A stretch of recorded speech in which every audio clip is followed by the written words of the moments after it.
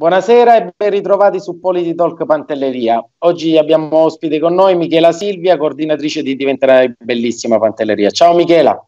Ciao Gigi, buonasera. Grazie intanto per essere con noi. Michela, prima, prima di partire lanciamo la sigla e ci ritroviamo subito fra 30 secondi. Benissimo. Vai con la sigla.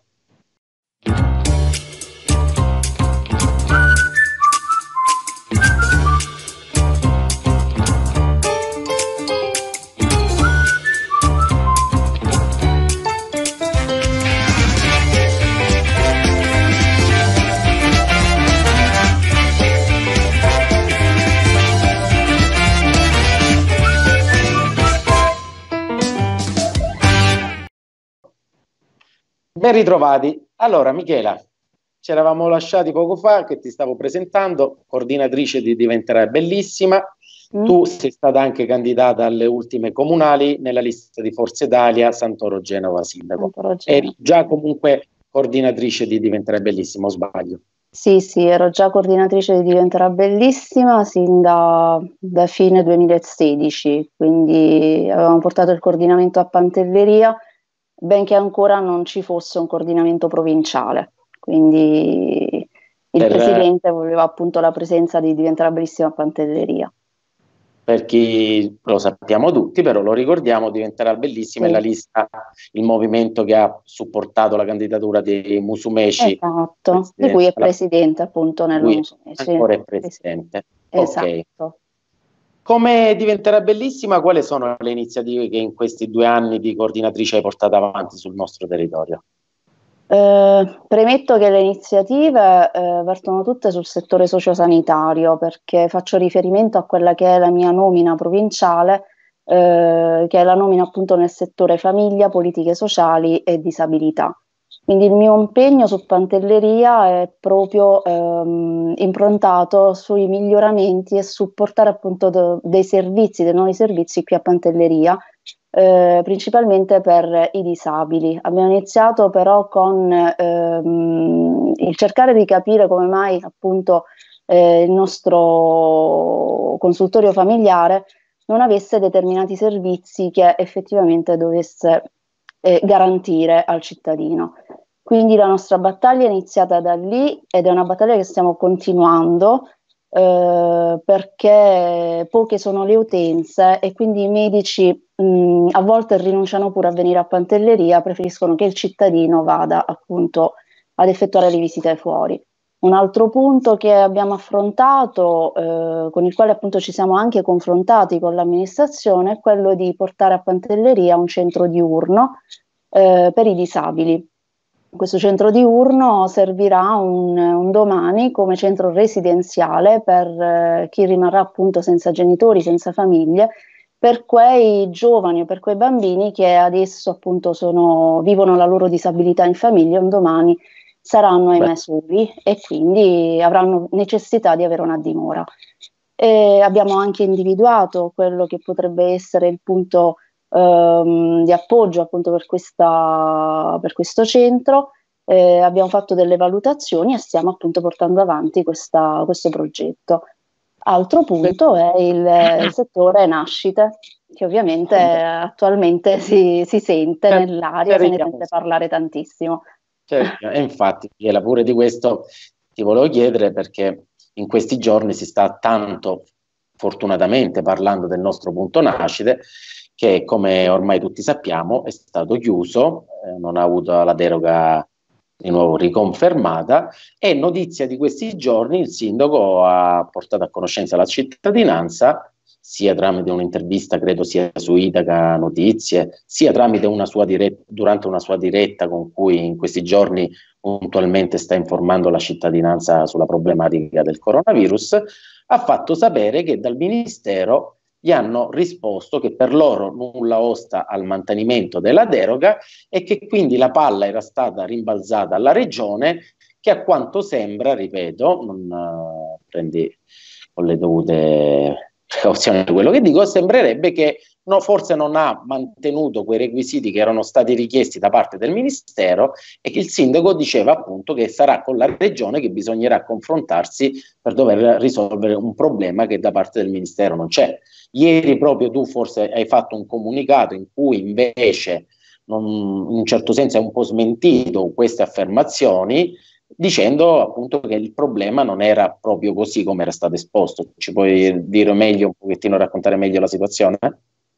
Ma la situazione eh, diciamo che negli anni appunto è peggiorata perché, ripeto, noi abbiamo sempre avuto un punto nascita con una deroga, quindi ci si deve prima o poi aspettare una chiusura. Eh, quindi il fatto di avere deroga su deroga non ti dà la, la garanzia di avere un punto nascita, non ti legittima il punto nascita perché se vogliamo dire la verità, eh, il punto nascita lavora pur non avendo i requisiti LEA che sono appunto oh. quelli che ti garantiscono una tutela per il cittadino. Non dovrebbe essere eh, da parte, come diceva il sindaco, dell'assessorato a, a predisporre. Appunto, appunto, per questo, mh, lavorando su deroga, e io mh, oggi proprio l'ho specificato ad una cittadina che faceva una domanda, il fatto di avere dei potenziamenti in questo settore non si può comunque pretendere che vengano spesi dei soldi su un reparto con deroga, perché un domani dovrà chiudere. Quindi la regione siciliana non potrebbe venire mai a spendere dei soldi su un settore che sta lavorando su deroga a scadenza. Quindi il problema è trovare un accordo tra regione e ministro e ministero. E ci sono delle proposte che il nostro assessore Razza vorrebbe fare e che ne parlerà appunto nel momento in cui sarà a Pantelleria, ne parlerà con tutti i cittadini perché ha fatto una promessa, verrà a Pantelleria perché è tra i suoi pensieri quello appunto di risolvere che per quello che io sento dire l'assessore si è dimenticato dell'isola non è vero. Posso dire che una delle priorità è quella appunto di portare a termine e risolvere questo gravissimo problema e non solo, perché comunque l'assessore non si sta occupando soltanto del punto nascita sì. a Pantelleria, ma anche di altri settori, Michela, di altri reparti. Sicuramente io mh, giustamente tutti quanti con il buon senso comprendiamo benissimo che in questo momento in cui il paese si sta trovando ad affrontare una situa- un'emergenza come mai era stata affrontata dal dopoguerra a oggi, capiamo benissimo che ci sono priorità anche da parte dell'assessorato alla salute che hanno appunto devono essere maggiormente attenzionate. Però giustamente proviamo un attimino anche a metterci nei panni. Io a volte diciamo sempre le mamme, le mamme, ma mi piace dire che non sono le mamme, ma è la comunità, perché queste mamme esatto. hanno dei mariti, hanno delle famiglie. problematiche che ci accomuna, esatto. Ci accomuna Quindi esatto. io capisco benissimo, le mamme capiscono, tutti capiamo benissimo che ci sono delle priorità, ma proprio anche in questo momento di difficoltà in cui forse fra una morfologica in cui si richiede un secondo piuttosto che un primo livello e un dover partire per mettere a rischio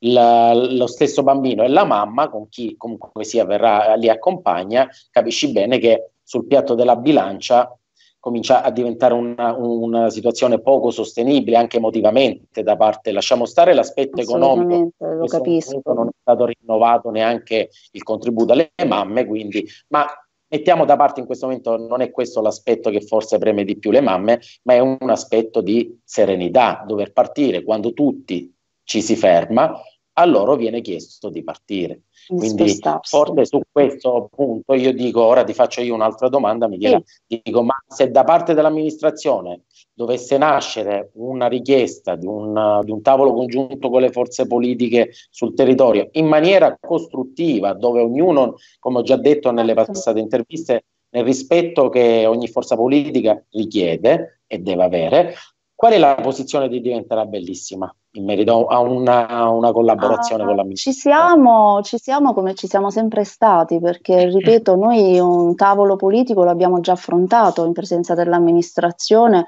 e ricordo appunto la problematica della DOC Pantelleria, l'abbiamo affrontato tutti insieme con tutte le forze politiche e con l'amministrazione.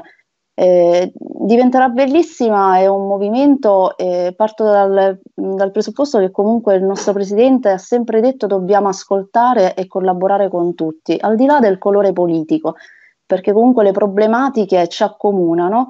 I programmi politici sono sempre quelli, i problemi sono sempre quelli per tutti, quindi dico che fin quando c'è bisogno appunto di un supporto l'uno dell'altro e comunque di avere idee, perché magari sedersi significa anche confrontarci e eh, ricavare idee magari noi da loro e loro da noi, quindi una collaborazione ci potrebbe anche essere, come c'è sempre stata, perché siamo sempre stati un movimento abbastanza aperto e, e disponibile, perché questo lo posso dire e lo può dire anche il sindaco, lo può dire l'amministrazione, siamo sempre pronti a, eh, ad essere presenti in supporto. Quindi eh, faccio l'esempio, abbiamo portato l'assessore bandiera, abbiamo portato il presidente, lo abbiamo portato per l'isola, non l'abbiamo portato per noi, per cui era presente anche l'amministrazione.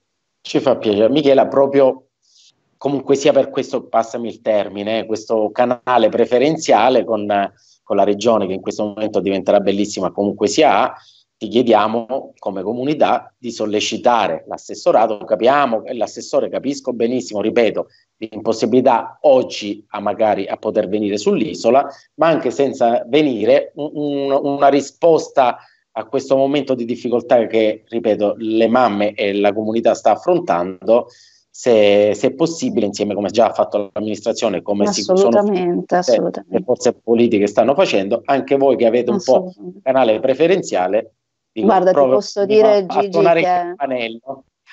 No, ma ti posso anche confermare che ultimamente ho sentito l'assessore Razza, quindi abbiamo una bellissima collaborazione tra noi eh, movimenti, partiti del centrodestra, quindi ci confrontiamo ed è stato sollecitato appunto il nostro assessore eh, proprio per affrontare questa tematica e per rassicurare più che altro le mamme, quindi ha garantito la sua presenza eh, quando terminerà, e mi spero, e spero appunto che terminerà presto, appunto questo periodo di allerta e questa quarantena, quindi verrà a Pantelleria, avremo modo appunto di chiedere e di avere delle risposte. Speriamo, Michela, perdona, io sono un po' pragmatico sempre, speriamo che siamo, saremo felicissimi. Lo solleciteremo, tranquillo. prima, se aspettiamo che finisce il, il, la, la, problematica, che tutti ci auguriamo finisca presto, cerchiamo magari prima di avere qualche risposta. Assolutamente.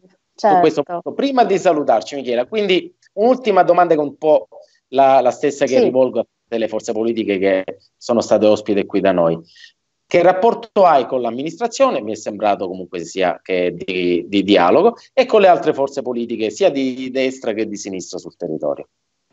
Ma il dialogo è con tutti, eh, tant'è vero che ho partecipato ad un, eh, ad un tavolo politico con, eh, organizzato dal PD quindi, ripeto, io eh, sono del parere che una, una sana eh, partecipazione, un sano confronto fa sempre bene, non può far male. Quindi ho partecipato e parteciperò ovviamente a, ad ogni convocazione che provenga da qualsiasi partito politico. Non, siamo disponibili ad ogni confronto. Con l'amministrazione, ripeto, siamo disponibilissimi. Va bene, prima di salutarci faccio un invito a chi ci ha seguito, se gli è piaciuta la puntata di lasciare un like, se non l'avete fatto di iscrivervi al nostro canale. E Michela, intanto grazie per il tuo tempo, di essere stata con noi. Sicuramente certo. speriamo di poterci risentire presto, di averti di nuovo ospite, magari per una bella notizia. Grazie, sicuramente. Sul punto nascita. Vi aggiorneremo. E presto incominceremo anche dei confronti fra le varie forze politiche, direttamente più ospiti contemporaneamente. Grazie per il tuo tempo e un saluto a tutti. Ciao e alla Ciao, prossima. grazie.